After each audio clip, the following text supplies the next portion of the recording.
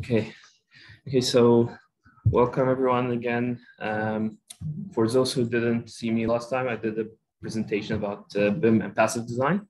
You were having, I guess, um, uh, kind of like an exam or something like that. So uh, he didn't get to uh, to that to that presentation, but it's already recorded. I'm sure uh, Christina uh, will share the link with you. So today's presentation is going to be about digital twins um, which is an extension to the previous presentation. And um, it's kind of um, the next step uh, of, of, what we have uh, with BIM. Like this is the next step that we're uh, we're looking forward to, and this is where the research is happening at the moment, uh, and where the uh, technologies are uh, are kind of converging to. So um, just a little bit of an introduction about me. Again, I'm a uh, I've just started my uh, postdoc here in UQ um, just last month, uh, and uh, I'm actually doing my uh, my research about digital twins, and we're part of the project that we're doing is trying to digitize the campus, the whole campus, and make a digital twin to the different campus buildings and uh, try to lay out the different information that we have. Because we have a lot of information about a lot of different things in the uh, in the uh, in the campus, such as, for example, uh, energy consumption. Uh, we have information about uh, uh, like how many users are are in every building and stuff like that. And this is kind of like data that is not actually used or it's not represented anywhere. So part of what we're trying to do is trying to um, make make use of that data that we have. And so today's presentation is going to be uh, a kind of a journey of understanding what digital BIM is, uh, digital sorry, digital twins are, uh, and uh, what does it mean in the construction world.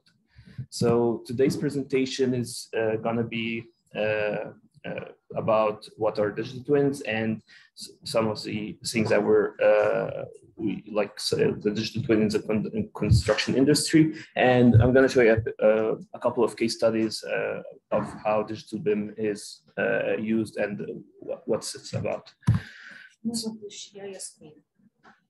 Oh, I forgot to share. Yeah. sorry about that. Uh, let me just share my screen. Okay, screen two. Okay, so just for you guys who haven't seen the last slide. So this is the content that we're gonna talk about today.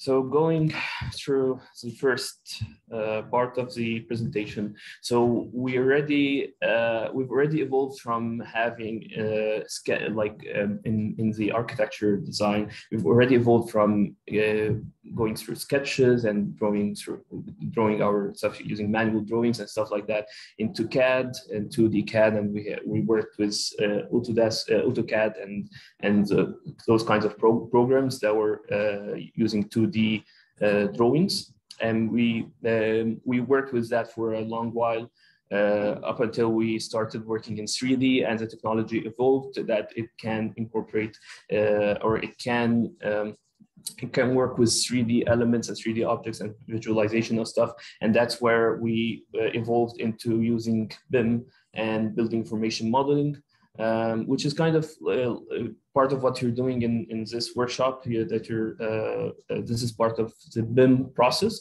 Um, um, and then what is the next step? The next step is would be um, since we're trying to make our buildings, uh, our, our building designs more and more uh, uh, like uh, represented in reality. Like when you were doing sketches, you have an idea of how the building will look like, but you don't really see the building there. 2D drawings and 2, 2D CAD, you had more information that you can put on your drawings. And uh, for 3D uh, or BIM, uh, you start having more and more information. So the next step is trying to replicate the physical building that you have there uh, and put that in a digital uh, in a digital format, which is the digital twins. So we're trying to make it as realistic as possible, and this will open for us more and more um, uh, like uh, benefits that we can use uh, those designs for. So. In a, in a nutshell, what is digital twins? Digital twins is, are um, advanced digital representations of a certain uh, asset that you have. So in our case, building. And uh, it's trying to model a real world object or a system. So uh, it's not just about the, um, the static object, it's more about the system that's involved with that asset that you have. And um, the most important part of that is um, uh, it, we try to connect our digital model with live data stream that is actually in the building. So now we have sensors and stuff like that that we can use in, uh, try, in having this live data stream between the digital model and the physical model. Um, so what are some of the uses of digital twins? They're not only used in the built environment. Actually, they didn't start in, uh, in, in, the construction industry. They started in, in actually the aerospace industry. Uh, and we have a case study about that I'm, that I'm going to show you at the end. Um, but some of the more advanced uh, usage of, uh, of digital twins actually are in uh, things like in, in the uh, fabrication and, and uh, in, in, sorry in factories and in uh, industrial in the industrial field. Um, it can be used in, um, so we said built environments, uh, and we can be used in traffic systems. So uh, on an urban scale, uh, digital twins have, have their own, like they can be used in traffic systems.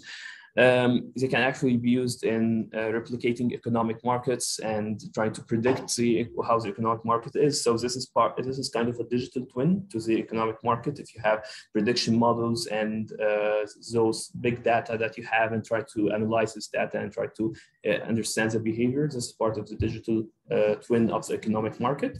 Health systems and even uh, in humans. And um, now we can uh, we we started seeing some examples of uh, like uh, digital athletes athletes uh, Uh, and trying to replicate the behavior of those uh, uh, athletes and try and, and understand if there is uh, something that they need to improve or is there a problem that they're going to be facing later on or an injury that they're going to be obtaining if they continue working a certain way. So like the applications of twin is very uh, is very wide. So how was it possible, or, or why is it? Why are we talking about that uh, about that technology at the moment? That's mainly because of the technological advancements that we uh, started uh, having and we started seeing in the past 30 or 40 years um, uh, we started having more and more sensors installed in uh, our buildings, and we started having more advanced buildings uh, like the engineering, advanced engineering building that we have across the road, and many other buildings uh, across the uh, across the university and across the cities uh, that we have. So we have this um, capability of having this live data stream going from a physical asset to the digital asset and vice versa. Um, so we have uh, uh, we have those technologies, and we, we also have uh, tools and softwares that help us integrate and monitor and censor this data uh, into modeling and simulation uh, of computer systems, uh, sorry, simulation computer systems. So for example, Grasshopper and Rhino that we um, that you're working uh, that you're working with, it's actually a big part or can be a big part of the digital uh, twin and trying to analyze this data and integrate the different data and, and analyze it and visualize it later on. So that's why we're talking about digital twins, digital twins uh, at this uh, at this stage. So there are different types of digital twins or different levels of digital twins. Um, so there's a component level where you're only focusing about on a on a, on a specific component in um, in, a, in, a, in a certain asset. It doesn't have to be the whole asset. So it can be maybe the HVAC system of, of this building. So this can be uh, uh, extracted as a as a standalone digital twin um, um, or some uh, like some connection between sensors and stuff like that. That can be a component uh, or on, the component level. On an asset level, it can be more about the um, uh, about the building itself, the whole building itself, and how it, it performs uh, uh, with all the systems or all the components that are inside.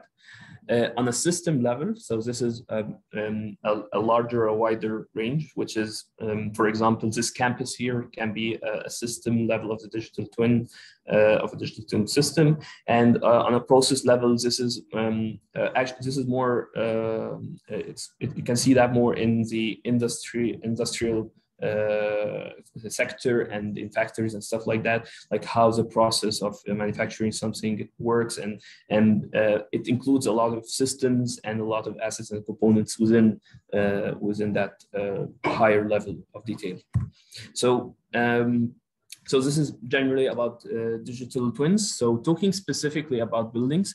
So what makes a building have a digital twin or what make, makes a, a, a digital twin of a building? So we have the as-built physical asset that we have here, right here. Um, so the first thing we need is actually uh, the BIM or, uh, or the building information model that, of that uh, physic, uh, physical building. And that's, that can be obtained through either uh, the pre uh, like the pre-construction uh, or the design phase and the design and development phase where you have a BIM model, but this is not enough. Like you have to have the as-built model.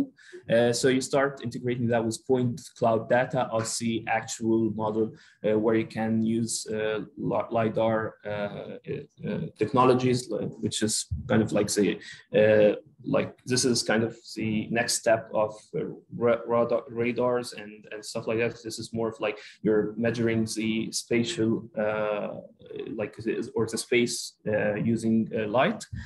Um, and there, we, we, we, have a lot of different types of, uh, of, of scanning of the, uh, of the different, uh, like of the different geometry of the building using drones, using cameras, and even now in the, uh, in the new iPhones, the iPhone Pro something, or and even the iPads, they have a lidar inside uh, within one of the cameras, or actually it's, it's an, uh, a standalone uh, component in the uh, cameras that you have.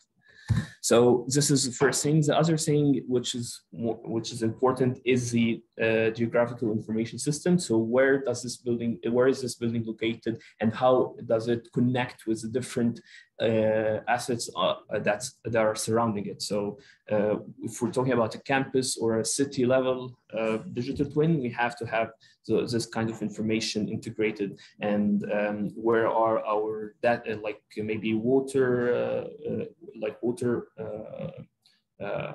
like conne uh, connection points or where is the sewer, where is the electricity coming from and how much electricity uh, is consumed and stuff like that. This is all part of the geographical information system. So this is um, something that uh, has to be uh, uh included in a digital uh, twin of a, of a building.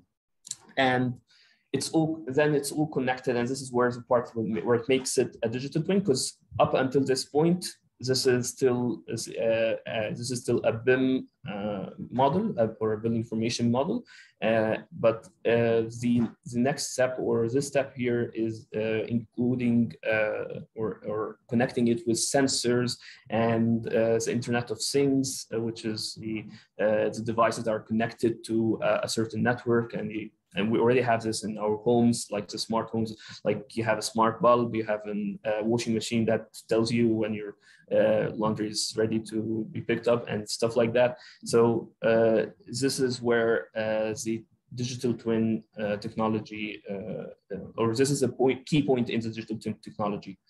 So having sensors and having internet of things as long as, as well as having historical data. So if you have historical data of uh, uh, or like a lot of data that are have been collected for for the past 10 years of the operation of the buildings, this is important to include in a digital twin where you can later on visualize as historical uh, data or you can do some prediction analysis uh, or predictions and analysis and simulations using the, the, those kinds of data to enhance your building performance uh, while operation. So all of this um, uh, creates, uh, this is the foundations of a digital twin.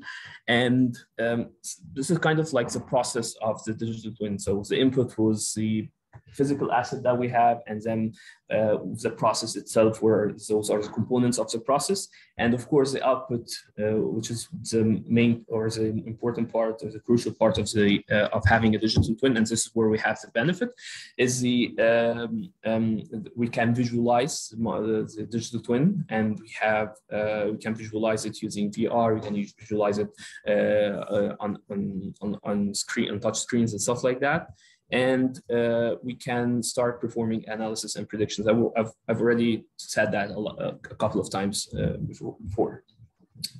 So this is another, like, I'm, I'm going to show you a couple of diagrams that are kind of like saying the same idea that we're just uh, discussing the last slide. So uh, um, again, it can be uh, like uh, you can change the like what do you call it the the definitions of what should be included in the digital BIM or and what is what's not and how, how you categorize it. So from an engineering perspective, you have to have the BIM model, you have to have uh, the, the specifications, the geotechnical data, from an operations perspective, uh, you have to have the uh, Internet of Things, sensors, drones, cameras, point clouds, and stuff like that. And from an information perspective, you, sh you should have like uh, work orders, maintenance of uh, maintenance records, inspection records, things like that can help you with, uh, with having your digital twin. And the output again is 3D uh, and and VR and and 4D, which is the timeline change, and you can see historical data and predict prediction prediction data and analysis analysis and analytics uh, for later on. Okay, and again, this is uh, um, another uh, like it's kind of like a comparison, not a comparison. It's kind of like uh, draws a line. This diagram draws a line of where the BIM is and when you start defining a digital twin. So um, you can see that uh, BIM is usually, or the building information modeling is where uh, happens in the conceptual and design and construction phase. Whereas you, if you want to use that BIM model in the operation and maintenance phase and the end of life phase of the buildings, then uh, this um, this has to evolve into a digital twin uh, to be used efficiently. So you having having only a BIM that is not connected or disconnected from uh, the physical model does not uh, the, the, uh, is not the most effective way of managing the building. So you have to have a connectivity or a, a, way of connection with the physical model, like the digital and physical models. Okay, so this is kind of a definition of the digital twin for uh, for buildings. And so um, for different projects and for different uh, users actually of the building, they would have different definition of, uh, of, of, their, of how they want to use their digital twin uh, or the digital twin model. So the basics things that you should have is the 3D model, the GIS data, uh, the GIS, and the data or information that is going back and forth between the digital and the physical model. But what's more important is you have to ask yourself who is your audience and who are who, who, who are the people who are going to use this digital twin and what kind of data do you have? So is the data that you have actually uh, communicating with that audience or not? Uh, and um, and one one of the things that are actually uh, considered an obstacle in uh, implementing digital twin on a city level um, and uh, is the legalities and the actually the uh, um, like the how the data is um, what's the word of that? Like public and private data and um, um, um what creative uh, what's it creative commons and like i'm trying hmm? not concept i'm trying to find uh, copyrights copyrights yeah I was trying to find the word this word.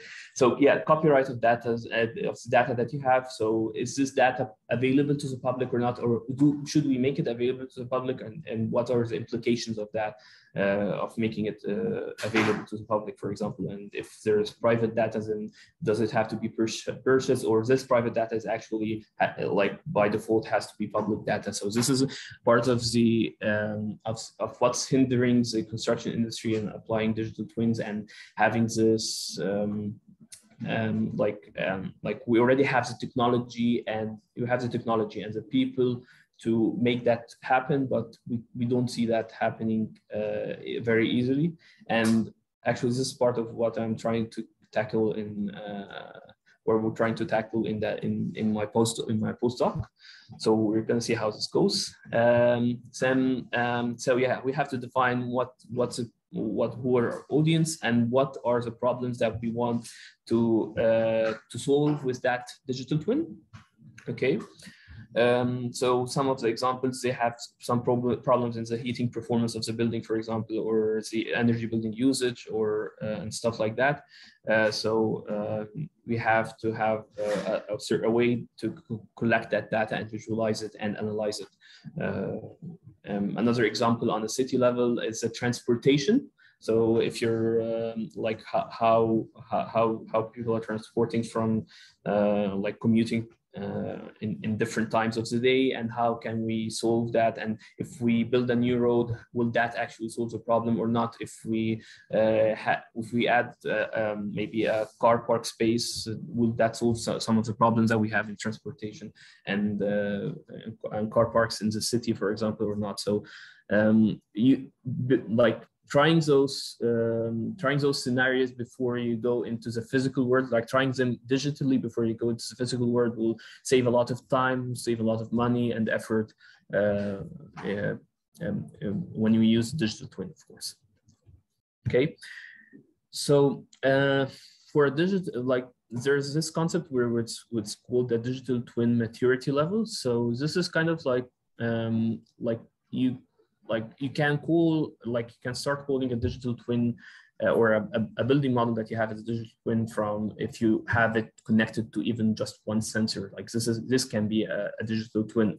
For example if you have it connected only with the electricity consumption then yeah you have a digital twin of the building model that you have for the electricity consumption and that that's great but we have different level of maturities and and we we have to understand those different levels to understand what is the um, what is what we yeah what kind of technologies that we can use uh, and who is it going to be useful for? Um, so just quickly uh, again this presentation can, will be available and you can look at that uh, that graph in, in, in details.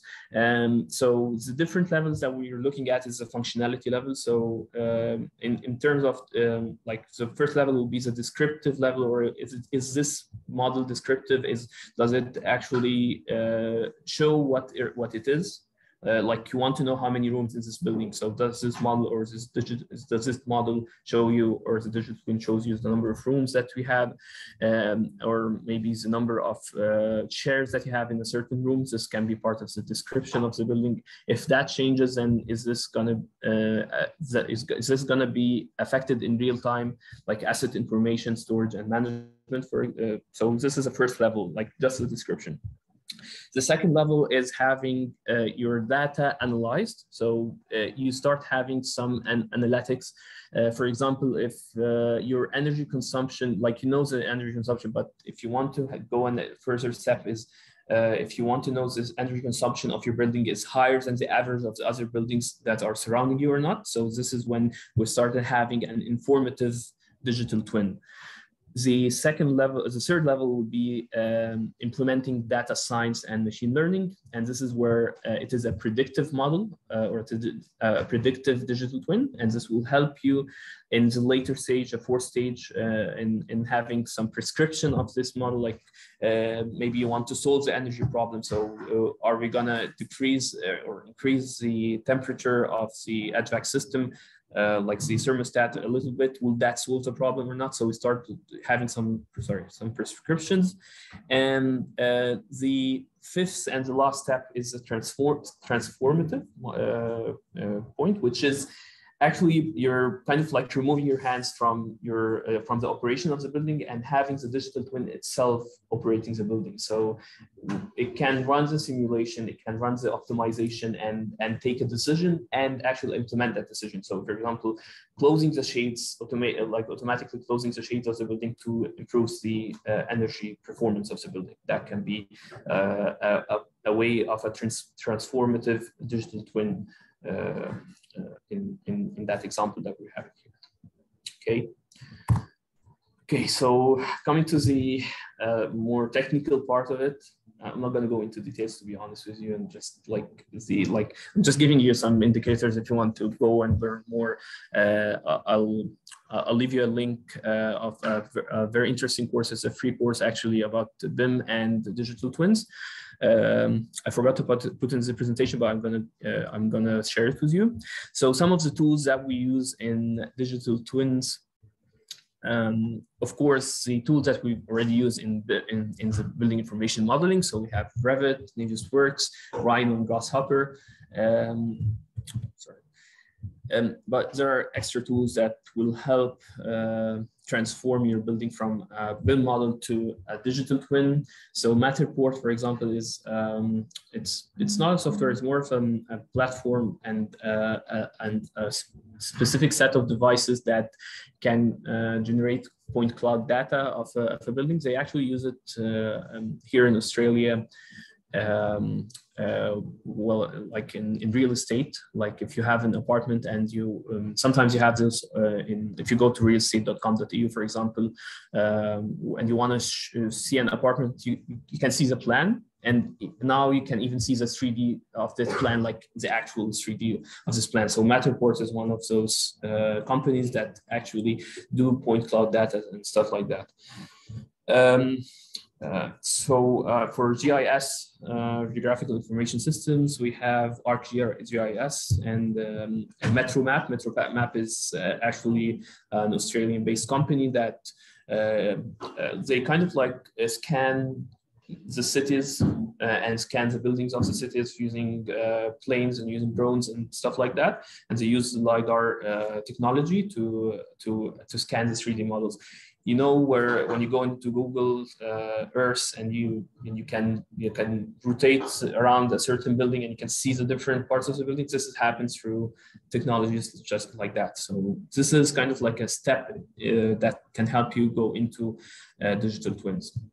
And there are uh, currently and, and recently actually some uh, digital twin technology platforms that are specific for building uh, the building industry because you can find a lot of digital twin uh, platforms for for other industries for and especially for the manufacturing and process, processing industry but for digital twi- for building uh, digital twins there are a few that are uh, emerging at the moment so Autodesk Tandem, they have their own uh, digital twin uh, platform, and Bentley iTwin Ventures is another one.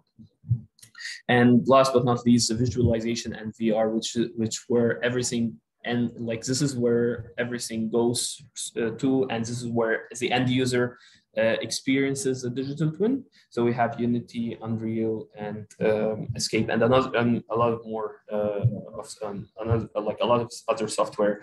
But um, it, it's very interesting that the gaming industry is, is actually a very big part of that uh, of, of digital twin, and, and it's actually starting to kind of like they're kind of like um, emerging or uh, converging together uh, like you cannot like both the gaming and the architectural and the construction industry are actually being um, a, a, big uh, industry itself uh, on its own.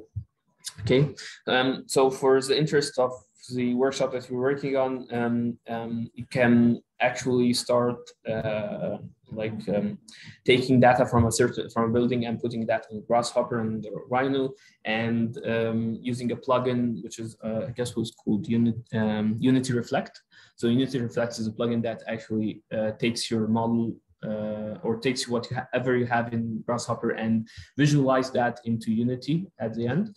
Um, I haven't tested that to be honest with you, but I'm, I'm, uh, I'm, uh, it's part of where I'm go- where I'm gonna start testing that so those stuff, especially in my postdoc. So uh, hopefully those things will work.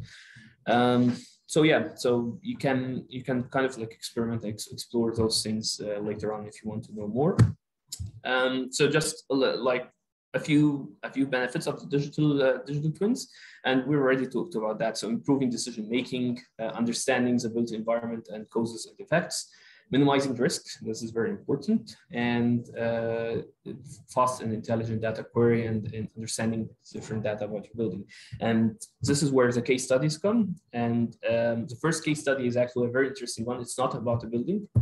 So um, since so we've we've been talking about digital twins that there are new technologies, emerging technologies that's happening just a few uh, like in a few decades and stuff.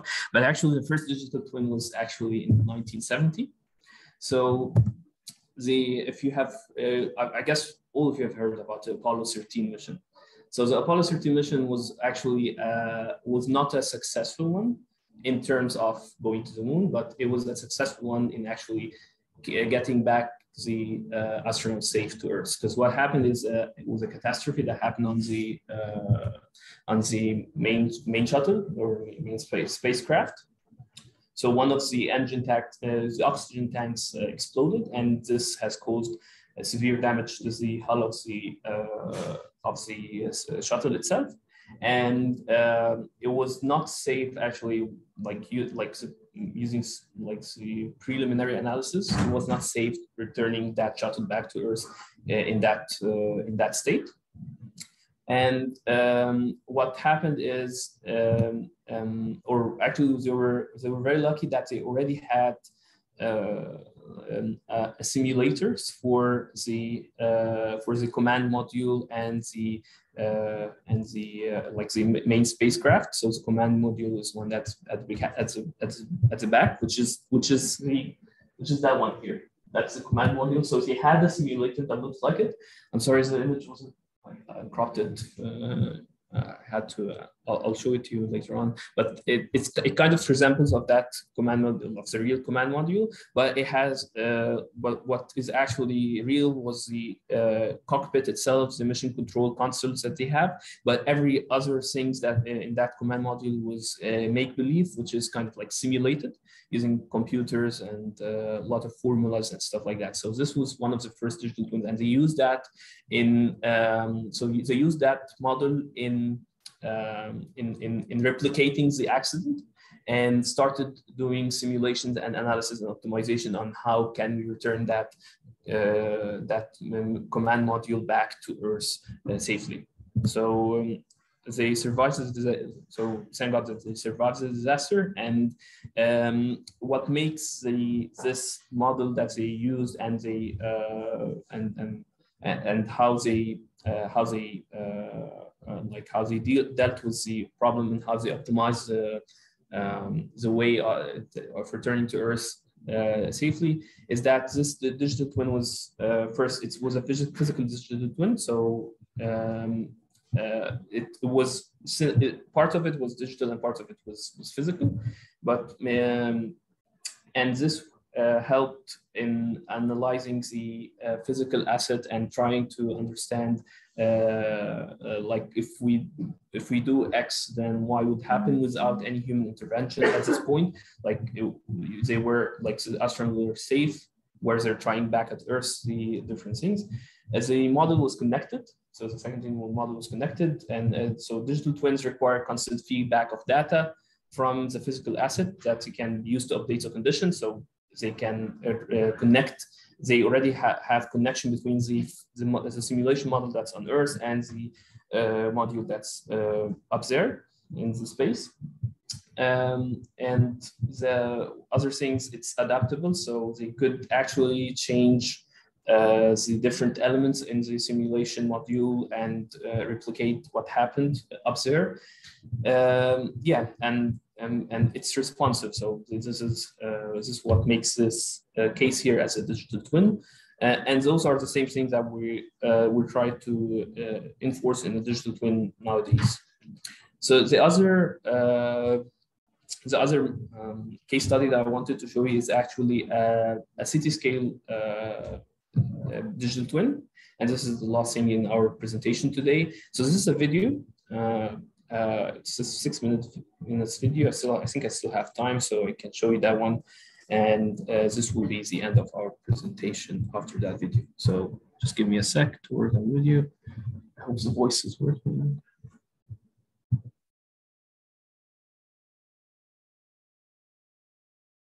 So I'm just gonna, oh, so, oh, there it is. Sorry, guys. China's largest city. This technology firm Beijing has created a complete virtual clone of China's largest city. I'm sorry. Thousand square kilometers, across using information satellites, uh, drones, and sensors. Give me a sec. Forgot that. I should get that here. sorry. And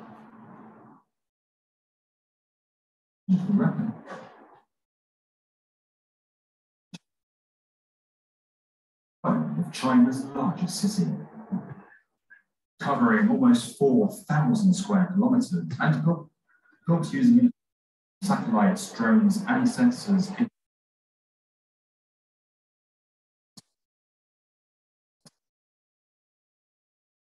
astonishing accuracy. Powered by Unreal Engine's photorealistic graphics, covering thousands of buildings and with the potential to impact millions of people, this is how China cloned Shanghai.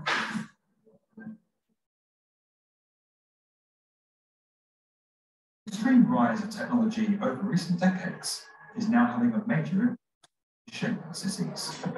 Faced with several challenges from the huge growth of urban populations to climate change and pandemics, these centres are now using connected digital information to improve services, plan development, and optimize buildings. But digital twins take things to a different level. Precise virtual representations of physical assets continuously up to date and could cover anything from small element of a building to an entire city. That's what Beijing-based developer mm-hmm. 51 World is planning to do with Shanghai. Powered by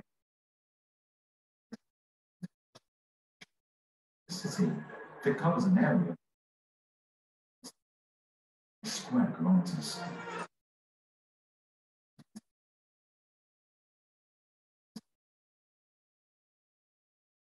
Shanghai Tower were created in other buildings, roads, waterways, and green spaces were then made using an algorithm that converts data from a geographic information system into 3D information.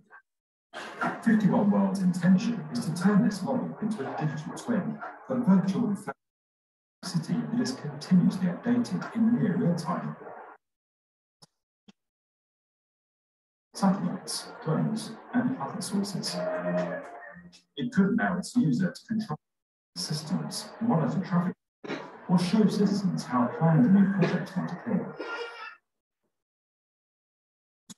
Designers can simulate ideas in the live city environment before they are and the impact of decisions from where to position bus stop to how large a new housing development should be can be understood in advance.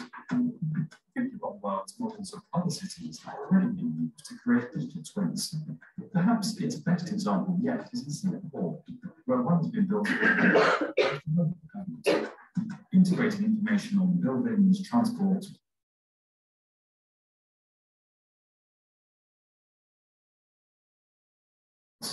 and to simulate floods. One World has also implemented several intelligent transportation projects across China, offering solutions for 3D real-time monitoring and micro simulation. To optimize the efficiency of real-time rendering in Shanghai as a user moves across the cityscape, the entire simulation is divided up into two square kilometer segments. Closer objects appear in finer detail, showing accurate environmental reflections, soft shadows on surfaces, and lifelike shading in accordance with the method. To achieve these graphics, 51 World turned to Unreal Engine, one of the industry's leading platforms for creating photorealistic visuals and immersive experiences. With cutting-edge rendering capabilities, Unreal Engine gave 51 World a real-time lighting system that simulates the sun, photorealistic models of the city's landmarks, and the ability to quickly find errors. Digital instantly raises questions about rights, ethics, and ownership. All of the data used in systems like this is anonymized, and facts about specific individuals and their movements aren't tracked. It's more looking at broader, trend-level information. Understanding that, the exciting advantages these digital twins bring come entwined with challenging questions for our societies. It's undoubtedly one of the most advanced we've seen, Several other cities are now exploring the idea of virtual twins, albeit by creating advanced 3D models rather than true digital twins. In Finland, VR studio Zoan used Unreal Engine to create a virtual Helsinki, a digital replica of the capital that's used for everything from 360 degree virtual real estate tours to promoting the city at international exhibitions. In New Zealand, Build Media and the city's council used Unreal Engine to develop an They now plan to integrate live data to create a true digital twin. SimCity or Minecraft fan will tell you that building city simulations with a gaming engine has been possible for decades. This technology is now on to transform our real world. What's more, digital twins are still in their infancy, and their potential is enormous. With future models expected to be capable of autonomous decision making, it seems that the age of the truly smart city has only just begun. I was brought to life with Unreal Engine. To see what else is possible one of the world's most powerful visualization tools, click the link below. As always, if you enjoyed this video and would like to get more from the definitive video channel for construction, subscribe to the B1M. So yeah, that's it. Uh, so it's exciting. We're living in an exciting world at the moment. And actually, Brisbane is trying is is is heading for a digital twin, especially after the winning of the Olympics uh, at uh, 2032. So uh, yeah, so we're gonna see a lot of that uh, happening. And if you really want, if you want to see something hands-on at the moment uh, regarding digital twins, you can head to the Cross River Rail experience in the city. Um, it's in 151 Edward Street. Uh, I guess it's open from 10 a.m. till I guess 3 or 4 p.m. every day. Uh, you can check more uh, online about that, but uh, they have a lot, like they have some VR headsets and uh, showing you the how the cross river rail will look like after it finishes, and there is an uh, like an immersive experience room, like a three, it's not a 360, but 270 room where it shows you some uh, visualizations of the city and of the uh, Cross River Rail project and how it's developed and so on. So yeah, so yeah, that's that's basically what I wanted to share with you today, and uh, hopefully you've learned something new today. And thank you so much for. if you have any questions uh, or uh, like any concerns, anything, uh, you can ask. Good.